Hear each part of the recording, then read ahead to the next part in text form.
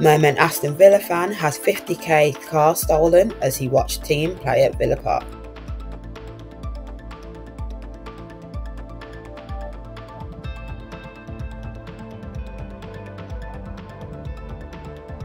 The football fan who was watching his team take on Crystal Palace returned to find his Lexus RX had been stolen from the Ridgeway in Erdington.